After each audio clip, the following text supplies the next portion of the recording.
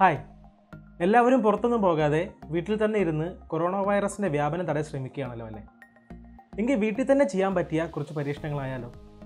Physics chemistry biology maths ഈ നാല് വിഷയങ്ങളിലും നമ്മുടെ വീട്ടിൽ തന്നെയുള്ള സാധനങ്ങളൊക്കെ ഉപയോഗിച്ച് ചെയ്യാൻ പറ്റിയ ഓരോ പരീക്ഷണങ്ങളാവാം ഇന്നത്തെ സൈക്കിളിൽ വീഡിയോ.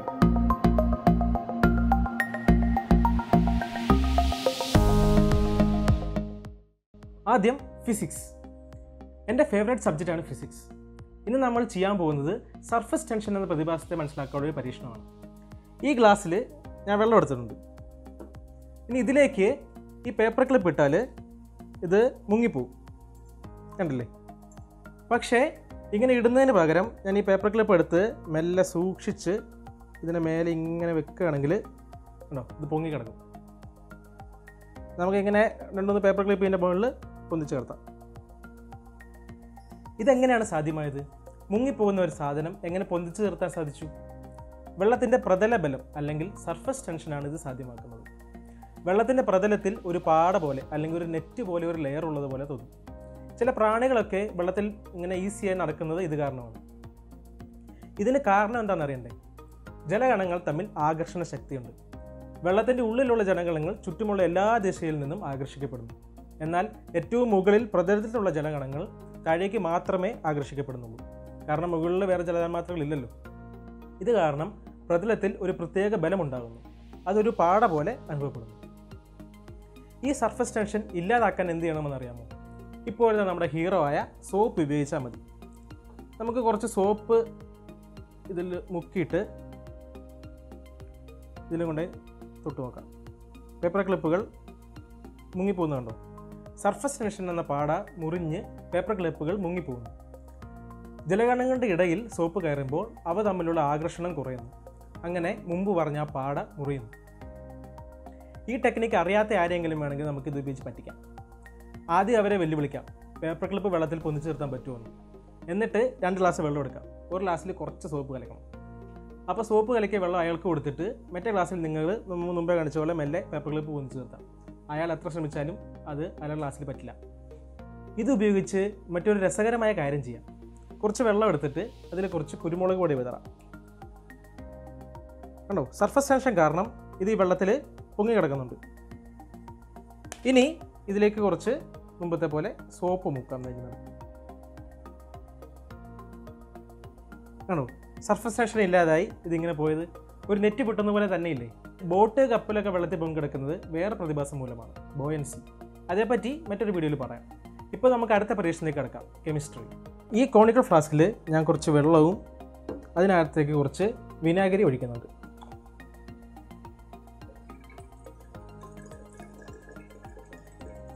ഇനി ഇതിലേക്ക് കുറച്ച് സോപ്പ് പിന്നെ കുറച്ച് ഫുഡ് കളർ ചുവന്ന ഫുഡ് കളർ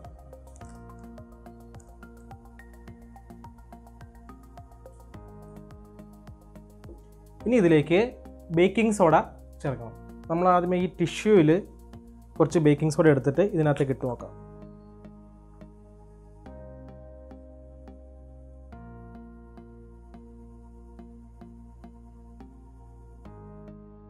ശാസ്ത്രമേളക്കൊക്കെ പോയിട്ടുള്ളവർ ഇത് കണ്ടിട്ടുണ്ടാവും. അഗ്നിപർവതത്തിന്റെ മോഡലിൽ ലാവ ഉണ്ടാക്കാൻ ഉപയോഗിക്കുന്നത് ഈ റിയാക്ഷനാണ് ഇതൊരു കെമിക്കൽ റിയാക്ഷനാണ് ഒന്നോ അതിലധികമോ രാസപദാർത്ഥങ്ങൾ ചേർന്ന് അതൊന്നുമല്ലാത്ത മറ്റ് രാസപദാർത്ഥങ്ങൾ ഉണ്ടാകുന്ന പ്രക്രിയയാണ് രാസപ്രവർത്തനം അഥവാ chemical reaction vinegar acetic acid എന്ന ആസിഡാണ് ബേക്കിംഗ് സോഡ സോഡിയം ബൈകാർബണേറ്റ് എന്ന ബേസ് അഥവാ ക്ഷാരമാണ്. ഇത് രണ്ടും കൂടെ ചേർന്ന് രാസപ്രവർത്തനം നടന്ന് സോഡിയം അസറ്റേറ്റ് എന്ന ലവണവും വെള്ളവും കാർബൺ ഡൈ ഓക്സൈഡ് ഗ്യാസും ഉണ്ടാവും. ഈ കാർബൺ ഡൈ ഓക്സൈഡ് വാതകമാണ് കുമ്മളകളായി ഇങ്ങനെ പുറത്തേക്ക് വന്നത്.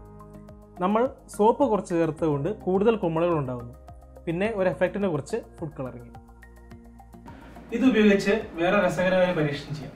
ഈ കുപ്പിയിൽ മുമ്പത്തെ പോലെ തന്നെ വിനെഗർ എടുത്തിട്ടുണ്ട് പിന്നെ ഈ ബലൂണിന്റെ അകത്ത് ഞാൻ ബേക്കിംഗ് പൗഡർ നിറച്ചിട്ടുണ്ട്. ഇനി ഈ ബലൂൺ ഈ കുപ്പിയുടെ മുകളിൽ വെക്കാം.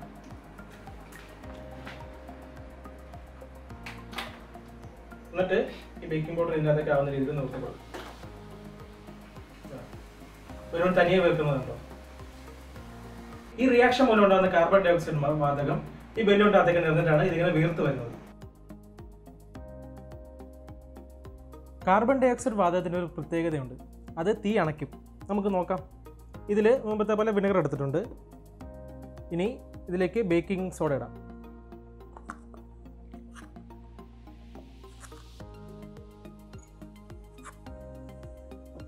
എന്നിട്ട് നമുക്ക് തീ കത്തിച്ചിട്ട് നോക്കാം. ഇതിന്റെ മുകളിൽ പിടിച്ചു നോക്കാം. കണ്ടോ? തീ അണഞ്ഞു പോകുന്നുണ്ട്. കാർബൺ ഡൈ ഓക്സൈഡ് വാതകം തീ അണയ്ക്കും. കാർബൺ ഡൈ ഓക്സൈഡ് വാതകം ചില ഫയർ എക്സ്റ്റിംഗ്വിഷറിലൊക്കെ ഉപയോഗിക്കാറുണ്ട്. അപ്പോൾ കെമിക്കൽ റിയാക്ഷൻ എന്താണെന്ന് ഒരു രസകരമായ പരീക്ഷണം കണ്ട് മനസ്സിലാക്കിയല്ലോ. ഇനി അടുത്തതിലേക്ക് കിടക്കാം biology D N A R N A എന്നൊക്കെ കേട്ടിട്ടുണ്ടെന്നല്ലാതെ അങ്ങനെ ഒന്ന് നേരിൽ കണ്ടിട്ടുണ്ടോ എന്ന് ചോദിച്ചിട്ടുണ്ടെങ്കിൽ കുടുങ്ങും. എങ്കിൽ നമ്മൾ ഇന്ന് സ്വന്തം ഡി എൻ എ കാണാൻ പോവുകയാണ്. എങ്ങനെയാണെന്ന് നോക്കാം. ആദ്യം കുറച്ച് വെള്ളം എടുത്തിട്ട് അതിൽ കുറച്ച് ഉപ്പ് ചേർക്കാം. ഇനി ഉപ്പ് വെള്ളം ഞാൻ വായിൽ കൊണ്ടിട്ട് രണ്ട് മിനിറ്റ് നേരം വായിലിങ്ങനെ കുലുക്കുഴിയും എന്നിട്ട് ഇതിലേക്ക് തന്നെ തുപ്പും.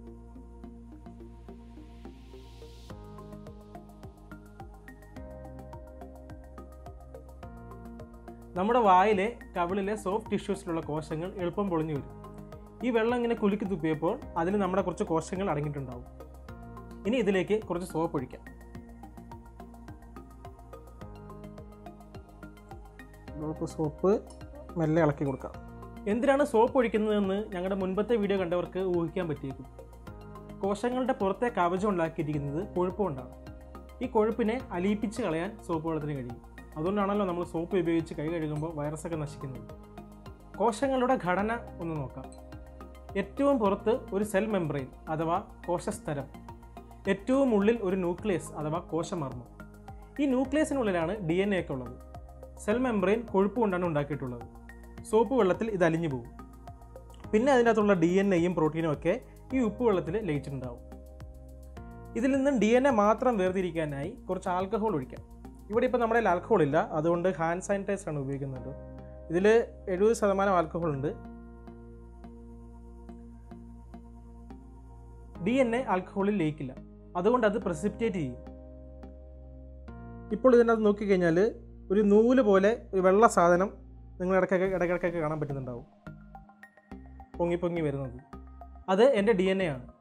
ഒപ്പം എന്റെ ബായിലുള്ള ബാക്ടീരിയയുടെയും വൈറസ് ഉണ്ടെങ്കിൽ അതിന്റെയും ഒക്കെ ഡി എൻ എ ഇതിനകത്ത് ഉണ്ടാവും ഇതാണ് D N A extraction corona പോലുള്ള വൈറസ് ഉണ്ടോ എന്ന് ടെസ്റ്റ് ചെയ്യുന്നത് ഇതിനോട് സമാനമായ പ്രക്രിയ ഉപയോഗിച്ചാണ്. വായിലെയും മൂക്കിലെയും ഒക്കെ സാമ്പിൾ എടുത്ത് ആദ്യം ഡി എൻ എ എക്സ്ട്രാക്ട് ചെയ്യും. എന്നിട്ട് അതിൽ വൈറസിന്റെ ആർ എൻ എ ഉണ്ടോ എന്ന് പരിശോധിക്കും. അതേപോലെ തന്നെ ഫോറൻസിക് ശാസ്ത്രജ്ഞന്മാരൊക്കെ തെളിവുകളിൽ നിന്നും ഡി എൻ എ വേർതിരിക്കുന്നതും ഈ പ്രക്രിയയിലൂടെ തന്നെയാണ്. അപ്പോഴിനി അടുത്ത വിഷയത്തിലേക്ക് വരാം. മാത്സ്. മാത്സിൽ എന്താണ് പരീക്ഷണം എന്നാണ് ആലോചിക്കുന്നത്. ചാക്കോമഷ് പറയും പോലെ ഭൂമിയുടെ സ്പന്ദനം തന്നെ മാത്തമാറ്റിക്സിലല്ലേ? ഇന്ന് നമ്മൾ പാത്രങ്ങളുടെ വോളിയം അഥവാ വ്യാപ്തി എങ്ങനെ കണ്ടുപിടിക്കാം എന്ന് നോക്കാം. ഉദാഹരണത്തിന് ഞാൻ ഇവിടെ രണ്ട് പാത്രം എടുത്തിട്ടുണ്ട്. ഇതിന്റെ വോളിയം എത്രയാണ്? അതായത് ഇതിൽ എത്ര വെള്ളം കൊള്ളും എന്നെങ്ങനെ കണ്ടുപിടിക്കും? സിമ്പിളാണ്. ബേസ് ഏരിയയും ഹൈറ്റും കൂടി അളന്നിട്ട് ഗുണിച്ചു കഴിഞ്ഞാൽ വോളിയമായി. ഇതിന്റെ ബേസിന്റെ വിസ്തീർണം ആദ്യം അറിയണം. ചതുരത്തിലുള്ള ഒരു വസ്തുവിന്റെ വിസ്തീർണം കണ്ടുപിടിക്കാൻ എല്ലാവർക്കും അറിയായിരിക്കും. രണ്ട് സൈഡ് അളന്നിട്ട് ഗുണിച്ചാൽ മതി. നീളം ഗുണം വീതി. നമുക്ക് അളന്ന് നോക്കാം. ഇതിന്റെ നീളം പന്ത്രണ്ട് സെന്റിമീറ്റർ വീതി എട്ട് സെന്റിമീറ്റർ അളക്കുമ്പോൾ എല്ലാം ഒരേ യൂണിറ്റ് തന്നെ ഉപയോഗിക്കാൻ ശ്രദ്ധിക്കണം. ഞാൻ എല്ലാം അളന്നത് സെന്റിമീറ്ററിലാണ് ഇപ്പോൾ ബേസ് ഏരിയ പന്ത്രണ്ട് ഗുണം എട്ട് തൊണ്ണൂറ്റി ആറ് സെന്റിമീറ്റർ സ്ക്വയർ ഇനി ഇതിനെ ഉയരം കൊണ്ട് ഗുണിച്ചാൽ വോളിയമായി ഉയരം നമുക്ക് നോക്കാം. പതിനേഴര സെന്റിമീറ്റർ അപ്പോൾ വോളിയം ആയിരത്തി അറുന്നൂറ്റി എൺപത് സെന്റിമീറ്റർ ക്യൂബ് സെന്റിമീറ്റർ ക്യൂബ് എന്നാൽ മില്ലി ലിറ്ററാണ് അതായത് ആയിരത്തി അറുന്നൂറ്റി എൺപത് മില്ലി ലിറ്റർ വെള്ളം ഇതിൽ കൊള്ളും. ഇത് ശരിയാണോ നമുക്ക് നോക്കണ്ടേ?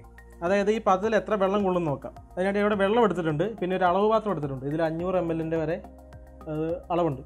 നമുക്ക് ഇതിനകത്ത് അഞ്ഞൂറ് എം എൽ എടുത്തിട്ട് ഇതിനകത്തേക്ക് ഒഴിച്ച് ഒഴിച്ച് നോക്കാം. എത്ര എത്ര ഇതിനകത്ത് കൊള്ളും. അഞ്ഞൂറ് എം എൽ ആയിട്ടുണ്ട്.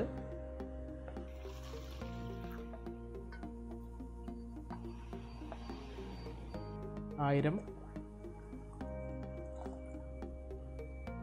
ആയിരത്തി അഞ്ഞൂറ്. ഇനി ഒരു ഇരുന്നൂറ് എം എൽ എടുത്ത് നോക്കാം. ഏകദേശം ഇരുന്നൂറുണ്ട്. അതൊഴിച്ചപ്പം ഇത് ഏകദേശം നിറഞ്ഞു. അപ്പോൾ നമ്മൾ ആയിരത്തി എഴുന്നൂറായിട്ടുണ്ട് നമ്മുടെ കണക്കനുസരിച്ച് ആയിരത്തി അറുന്നൂറ്റി അൻപതായിരുന്നു ഏതൊക്കെ ഏകദേശം കറക്റ്റാണെന്ന് മനസ്സിലായില്ല. ഇനി ഇതേപോലെ ഈ കപ്പിന്റെ വോളിയം എങ്ങനെ കണ്ടെത്തും? ചതുരത്തിലുള്ള സാധനം പോലെ ഇതിന്റെ ബേസിന്റെ നീളവും വീതിയും ഒന്നും കണ്ടുപിടിക്കാൻ പറ്റില്ലല്ലോ. അപ്പോൾ ഇതിന്റെ ബേസ് ഏരിയ എങ്ങനെ കണ്ടുപിടിക്കും? അതിന് നമുക്ക് ഇതിന്റെ ഡയമീറ്റർ അറിയണം അഥവാ വ്യാസം. നമുക്കൊരു സ്കെയിൽ വെച്ച് ഇതിന്റെ കൃത്യ സെന്ററിൽ വെച്ച് നോക്കിയിട്ട് ഇതിന്റെ ഡയമീറ്റർ അളക്കാം. ഇതിന്റെ ഉള്ളിലത്തെ ഡയമീറ്റർ വേണം അളക്കാൻ. ഏകദേശം ഏഴ് സെന്റിമീറ്റർ ഉണ്ട്. അപ്പോൾ ഇതിന്റെ റേഡിയസ് എന്ന് പറഞ്ഞാൽ അതിന്റെ പകുതി മൂന്നര സെന്റിമീറ്റർ അപ്പോൾ ബേസ് ഏരിയ എന്നാൽ പൈ ആർ സ്ക്വയർ ആണ്. പൈ എന്നാൽ മൂന്ന് പോയിന്റ് ഒന്ന് നാല്. അപ്പോൾ ബേസിന്റെ വിസ്തീർണം മൂന്ന് പോയിന്റ് ഒന്ന് നാല് ഗുണം മൂന്ന് പോയിന്റ് അഞ്ച് ഗുണം മൂന്ന് പോയിന്റ് അഞ്ച്. അതായത് മുപ്പത്തി എട്ടര സെന്റിമീറ്റർ സ്ക്വയർ. ഇനി ഇതിന്റെ ഉയരം നോക്കാം.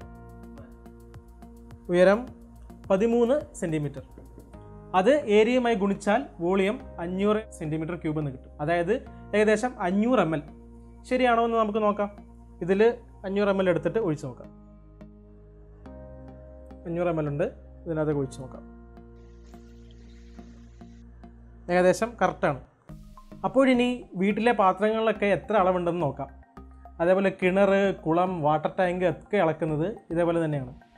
ഇപ്പോൾ ഉദാഹരണത്തിന് മീനിനെ വളർത്താൻ ഒരു കുളം കുഴിക്കണം. എത്ര വീതി നീളം ഉയരം കുത്തിക്കഴിഞ്ഞാൽ എത്ര ലിറ്റർ വെള്ളം ശേഖരിക്കാം എന്നൊക്കെ കാൽക്കുലേറ്റ് ചെയ്യാൻ പഠിച്ചല്ലോ. നമ്മൾ വെറുതെ ഈ സ്കെയിൽ വെച്ച് അളക്കുന്നത് കൊണ്ട് ചെറിയ വ്യത്യാസമൊക്കെ വരാം. എങ്കിലും ഏകദേശം കറക്റ്റ് ആയിരിക്കും ഇപ്പോൾ കണ്ടല്ലോ. പിന്നെ ഇതേപോലെ ഒരേ ഷേപ്പിലല്ലാത്തതോ അല്ലെങ്കിൽ ഇങ്ങനെ ചെരുവുള്ളതോ ഒക്കെ ആയ പാത്രങ്ങളാണെങ്കിൽ കോംപ്ലിക്കേറ്റഡ് ആണ്. അപ്പോൾ ഈ പരീക്ഷണങ്ങൾ എല്ലാവർക്കും ഇഷ്ടപ്പെട്ടു എന്ന് കരുതുന്നു. എല്ലാവരും ഇതൊക്കെ ചെയ്ത് നോക്കിയിട്ട് അഭിപ്രായങ്ങൾ അറിയിക്കുക. ഇനിയും ഇങ്ങനത്തെ എക്സ്പീരിയൻസ് ഒക്കെ കാണാൻ താല്പര്യമുണ്ടെങ്കിൽ അറിയിക്കണം. ചാനൽ സബ്സ്ക്രൈബ് ചെയ്തും ലൈക്ക് ചെയ്തും വീഡിയോ എല്ലാവർക്കും ഷെയർ ചെയ്തും സപ്പോർട്ട് ചെയ്യുമെന്ന് ഞങ്ങൾ പ്രതീക്ഷിക്കുന്നു. അപ്പോൾ മറ്റൊരു വീഡിയോയിൽ കാണും വരെ എല്ലാവരും സ്റ്റേ സേഫ് ഗുഡ് ബൈ